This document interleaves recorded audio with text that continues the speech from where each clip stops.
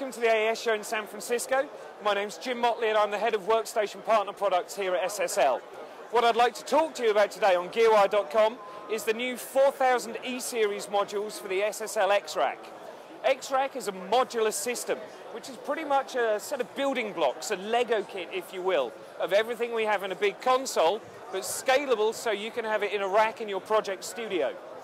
We already had the 9000 super analog modules for the X-Rack, but what we have here at the show is the classic 1980s SSL sound from all the rock records and hip hop records in your collection.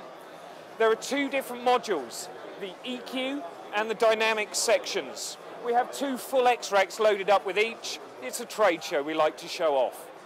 The EQ has two different curves, the brown knob and the black knob EQ. Brown knob was the original EQ circuit in the 4000E console from 1979.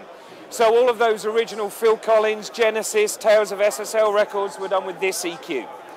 The other alternative is the black knob EQ, which was first put out in 1985.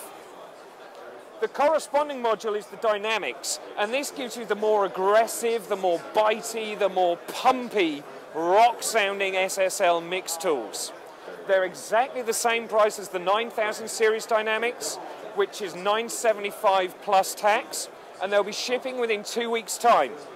We have a thing at the show that, you know, we don't show what we can't give to you quickly.